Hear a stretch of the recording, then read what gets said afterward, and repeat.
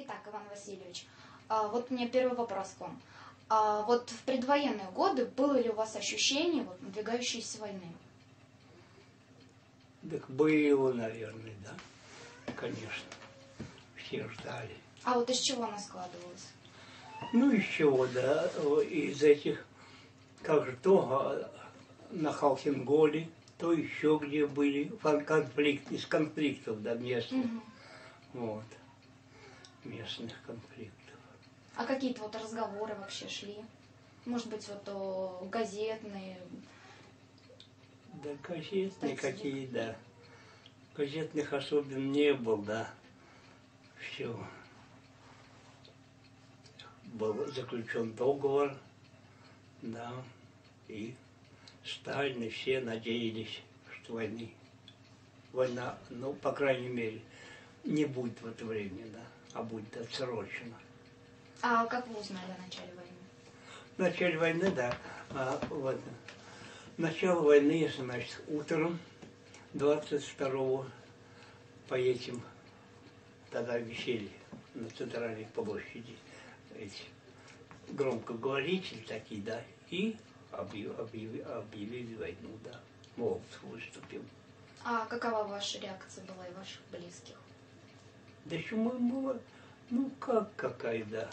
У всех неприятность был, да, что война начнет. В первый раз особенно и не вникли, что из-за война, да. Думали, все кончится быстро, да.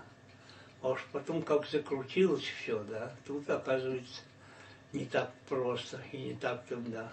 Мы подготовлены к войне, все. Вот. Ну и тут н- начало, э, военный период начался, конечно. Так, проводы все, начиная, да,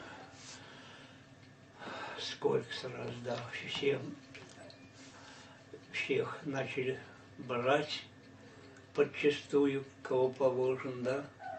Вот. Значит, на- по-моему, до, начиная до 24 года, всех мобилизовали на войну. Только кто остались, где на железной дороге, кто там имели брони, так, и на, на, на заводе вот Фрунзе, там этих, да, как они были, вот, бронированные. Остальных всех, да. А вот что вы думали тогда о причинах войны? Вот на тот момент. Какие у вас Да были каких причин, да. Все, как нас и учили, да, что все внезапное нападение, агрессор, да, все, мы ни при чем, да, все, вероломное нападение, все, так а, а, и на самом деле, да, вероломное, всем нам объявили, что вероломно напал. А вот сами лично вы слышали речь Молота 22 июня? Ну, конечно, ага, по радио передавали. А слышали ли вы речь Сталина 3 июля 1941 года? Я уж вот не помню. По-моему, слышал, да. по радио передавали. И какое впечатление они произвели на вас тогда? Ну, мы были воспитаны в таком духе, да. Все верим Сталину, да. ве- Верим партии нашей, да. Все. Победа будет за нами, да. Вот. Ну, а в быту какой-то, да. Конечно, верили, не верили, да. А у всех слезы, да, и проводы, и все. А вот в каких сражениях либо операциях вам пришлось принимать участие? Например, какой город, село? Да. Ну, э, я начал участвовать в операции Багратион. Ага. Вот, это в 1944 году, освобождение Белоруссии. Э, Второй э, Белорусский фронт Багратион. Это Баграмяна. Так. Ну, э, первый, да, что я участвовал в, это, в авиации, штурмовой авиации. Вот. Что это на передней, да, крае обрабатывали. Ну, Сначала в Белоруссию, Вот, освободили. Потом рванули на это Польшу, нет, Литву, потом Польша, а уж по, потом в Германию пошли. Мгм. И до Кенигсберга. А вот вспомните один из э, нескольких наиболее ярких боевых эпизодов с вашим участием. Ну какие? Да какое участие, да. Я только расскажу, какие, да, у нас, да, а, участия были, да. Вот. Вот. Э, Повторяли подвиг Гастелла. Вот. У нас а, это в этом в Литве танковая колонна шла так. Самолет был подбит у Цибулька. Ну а куда? До аэродрома не долетит. Так. И он самолет направил в танковую колонну. Ну, еще какие у нас э, знаменитости. Вот три героя Советских Союза оказались. Герой как да, дают, да, а, летчикам. А первые 25 вылетов сделал, да, вот, дают орден Красного Знамени. Еще 25 ли- вы, 50 вылетов, да, э, дают второй орден. А если уже сделал 75, то дают Герой Советского Союза. Вот. Ну, еще кто. Воздушный стрелок у нас Костромин. Вот. Н- а на этом, это же не основной стрелок, ну, в этом, на самолете Ил-2. Сбил два самолета вражеских. Вот такие геройские были за- за- за- за- заметные. Такие. Ну, а остальные как воевали? Воевали, э, как все, избивали. А к концу войны уже от эскадрильи, от 11 самолетов, осталось сколько у нас? Пять самолетов только. Остальные погибли. Война есть война, я не знаю, что а, наши просто воевали без всяких потерь. Потери большие, да. А какие ну, события- какие каверзы, какие были у нас, да. Сейчас расскажу, да. Ну, Зашли в Германию, нужен полк пополнять. Пополнять но- новым составом. Ну, часть э, командиров полка, э, командиров эскадрильи и часть механиков полетели в Безымянка, под Самарой, где на завод самолет получать. А у нас был старый Чапаевский, еще при Чапаеве во- воевала, майор Федоров, начальник штаба. Ну, мы остались что? Это в Эббинге. Все.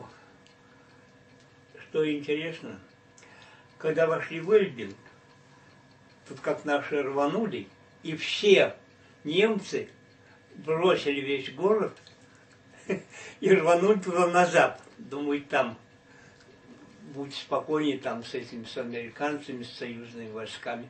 Ну, ходим по городу, да, все. Все. Да, да. С- сами по себе, да. Теперь дальше. Вот. Выдали нам обмундирование летнее.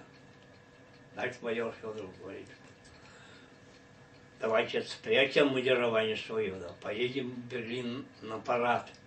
А тут одевать, тут прохлад, что угодно одевать. Ну, и, а и начали одеваться солдатики, кто во что гораздо.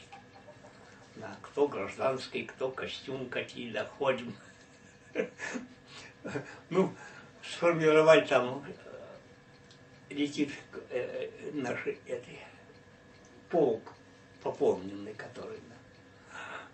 командир полка Высокосова, да. Вот. Садится не садится, что за аэродром? Может быть, это не наш аэродром, солдатов не видно, все разодеты, ни- никто во что, да. Ага. Ну, разглядел все, садили, да.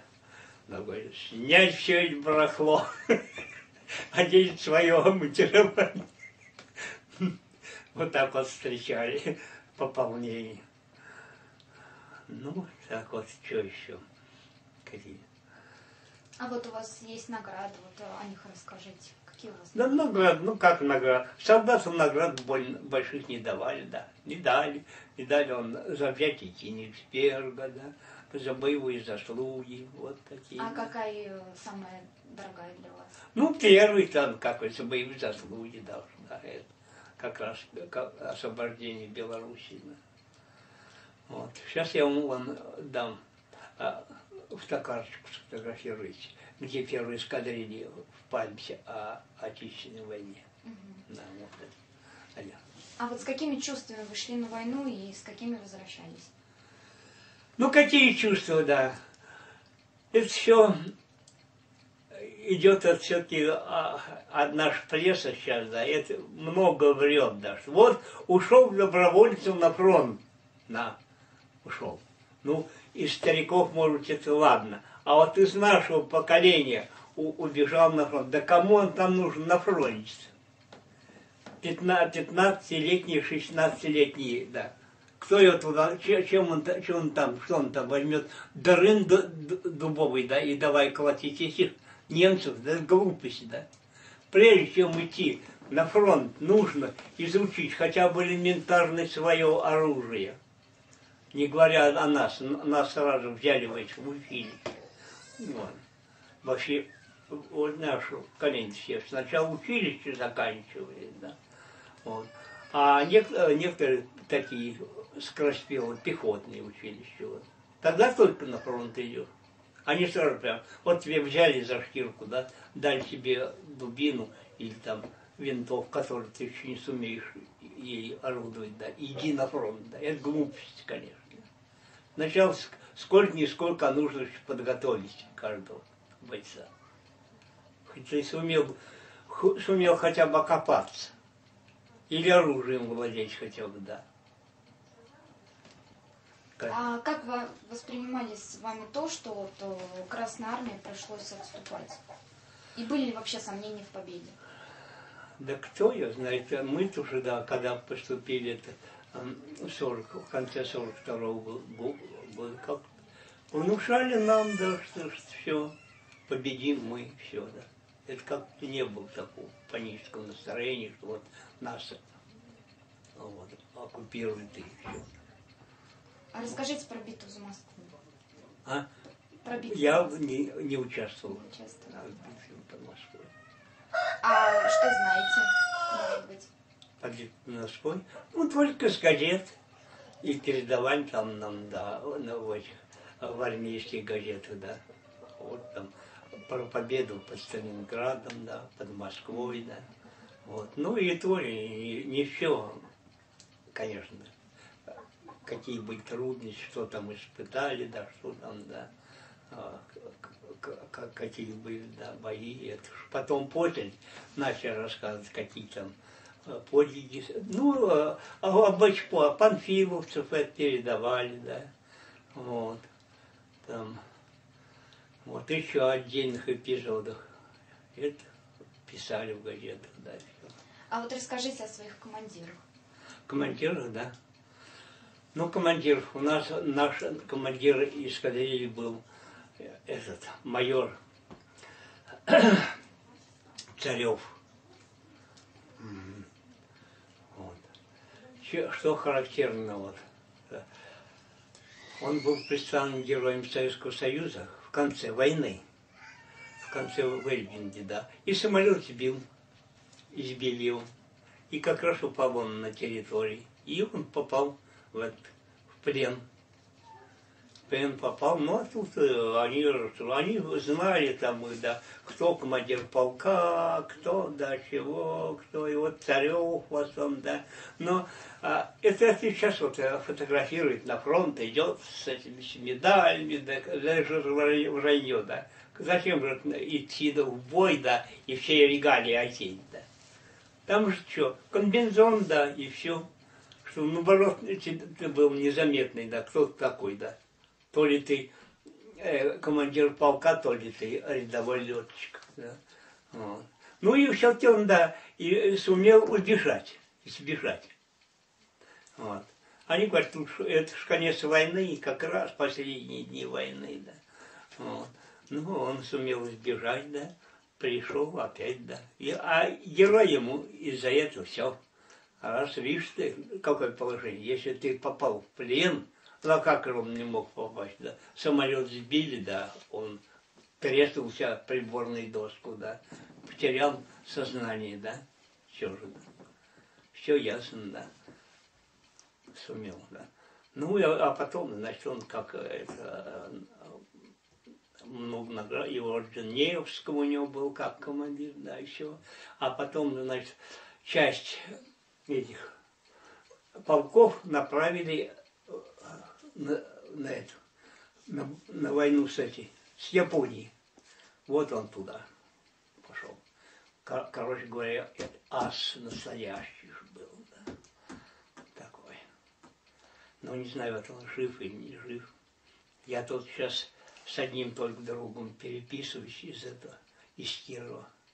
А об остальных вот так чуть мы не особенно общение имеем. А каково было ваше отношение ваших сослуживцев к личности Сталина? Как в наше время, да. А, Особенно и не пытались мы, да и как-то было такое время жестокое, да.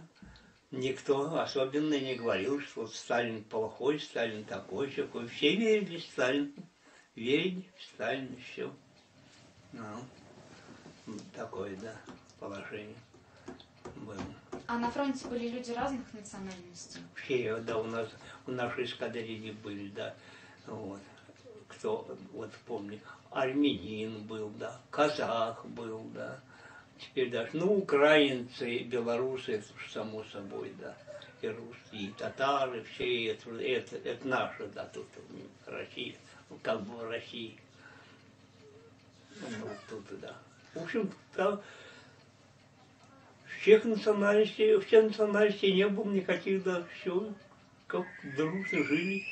Вот и во время, во время войны никто не думал ни о какой дедовщине, я не знаю, да, сроду, об этом мы не знали. Приходит молодежь, да, да, ну что, ну, если это училище хоть кончил, да, а приходит в, в пол, да, все, ну что, ну, шутя, пошутит, да. Дадут ему ведро, да. Что, ну, сходи к, он, э, к тому, что он идет, возьми компрессии. Ну, компрессии. Степень сжатия воздуха, да. Ну, все. Так вот, все, пошут над ним, а что так, да, издеваться или бить, это даже и, не, и в помине не было. А верили ли вы в Бога до войны? Не знаю, мне мать крестик дала. Вот, я вот носить не будешь в то время носить, да. В то время же это, мы были безбожники, да. Ну, я ее гимнастерку вот сюда, пистонечек. Спрятал так всю войну. С крестиком и был. А... Когда приспичит, тогда и веришь в Бога, да начнется бомбежка, начнется обстрел, да, э, вот, от подполовском особенно, как накрыли нас этими дальнобойными, да. Не больше и Бога вспомнишь в это время. Вот. А когда